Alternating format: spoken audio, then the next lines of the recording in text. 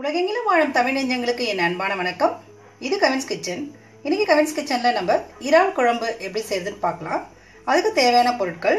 இன்றைக்கி நான் வந்து ஒரு கால் கிலோ அளவுக்கு இறால் எடுத்திருக்கேன். இந்த இறாலை நல்லா சுத்தம் பண்ணிவிட்டு மஞ்சத்தூள் உப்பு ஒரு ஸ்பூன் மிளகாய்த்தூள் போட்டு ஊற வச்சு வச்சுருக்கேன். அதுக்கப்புறமா ஒரு பதினைந்து சின்ன வெங்காயம் ஒரு பெரிய தக்காளி பழத்தை பொடி பொடியாக கட் பண்ணி வச்சுருக்கேன். அப்புறமா ஒரு ரெண்டு பெரிய முருங்கைக்காவை இந்த மாதிரி கட் பண்ணி தண்ணியில் போட்டு வச்சுருக்கேன்.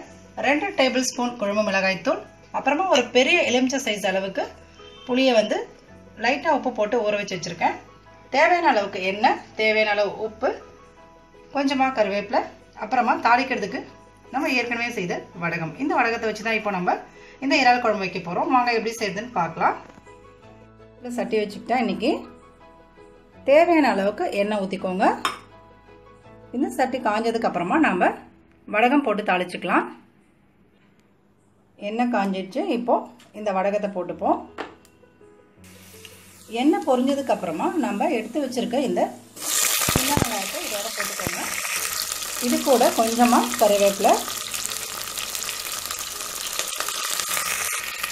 இந்த வெங்காயம் வந்து நல்லா வதங்கணும். அதுக்கப்புறமா தான் நம்ம தக்காளி பழத்தை இதில் வந்து சேர்க்கணும். இதில் நம்ம சேர்த்துருக்க பொருள் வந்து ரொம்ப கொஞ்சமான பொருளாக இருந்தாலும் குழம்பு ரொம்ப ரொம்ப சுவையாக இருக்கும். இப்போ தக்காளி பழத்தை சேர்த்துக்கலாம். இப்போ இந்த தக்காளி பழமும் சேர்ந்து நல்லா வந்து வதங்கிடுச்சு. இப்போ நம்ம இறாலை வந்து இதோட சேர்த்துக்கலாம்.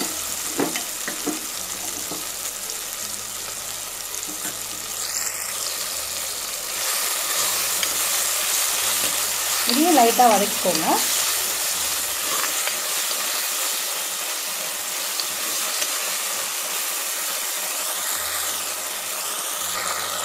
இப்போ பாருங்கள் இது நல்லா வதங்கிடுச்சு. இப்போ வந்து நம்ம குழம்பு மிளகாய்த்தூள் இதோட சேர்த்துக்கலாம். உங்கள் காரத்துக்கு தேவையான அளவுக்கு நீங்கள் சேர்த்துக்கோங்க. இப்போ தேவையான அளவுக்கு உப்பு போட்டுக்கலாம். ஏற்கனவே நான் வந்து புளியில் வந்து கொஞ்சம் உப்பு போட்டிருக்கேன். இந்த இறால்லையும் உப்பு போட்டிருக்கேன். அப்போ தேவையான அளவுக்கு உப்பு பார்த்துட்டு நீங்கள் போட்டுக்கலாம். இப்போ நம்ம இந்த புளி தண்ணியை வந்து இதில் சேர்த்துருவோம். இப்போ தேவையான அளவுக்கு நாம் தண்ணி ஊற்றிட்டோம் இதை வந்து ஒரு மூடி போட்டு மூடி வச்சுட்டு இது வந்து ஒரு கொதி கொதிக்கட்டும். அதுக்கப்புறமா நம்ம முருங்கைக்காய் இதில் சேர்த்துக்கலாம். இப்போ குழம்பு நல்லா கொதிக்குது. இந்த ஸ்டேஜில் நம்ம இந்த முருங்கைக்காயை இதில் சேர்த்துடலாம். இது வந்து ரொம்ப ரொம்ப சுலபமாக செஞ்சிடலாம். நம்ம சேர்க்குற இந்த பொருள் நான் ஏற்கனவே சொன்ன மாதிரி ரொம்ப கம்மியான இன்க்ரீடியண்ட்டாக இருந்தாலும் இந்த குழம்பு ரொம்ப ரொம்ப சுவையாக இருக்கும். எல்லாத்தையும் போட்டாச்சு. இப்போ வந்து இதை நம்ம மூடி வச்சிடலாம். இது நல்லா கொதிக்கிட்டோம். முருங்கைக்காய் வெந்ததுக்கப்புறம் நம்ம குழம்பு நிறுத்தி இறக்கிடலாம். அவ்வளோதான் நம்மளுடைய இறால் குழம்பு ரெடி ஆகிடும் வெயிட் பண்ணுவோம். கொதிச்சிருச்சு. இப்போ வந்து நம்ம கருவேப்பிலையை போட்டுட்டு நிறுத்திடலாம். அவ்வளோதான் நம்மளுடைய இறால் குழம்பு ரெடி ஆயிடுச்சு. பாருங்கள் நம்மளுடைய சூப்பரான இறால் குழம்பு சுட சுட இட்லியோட ரெடி ஆயிடுச்சு. இந்த இறால் குழம்ப நீங்கள் சாதத்தோட இட்லியோட தோசையோட எல்லாத்தோடவும் இது ரொம்ப ரொம்ப சூப்பராக இருக்கும்.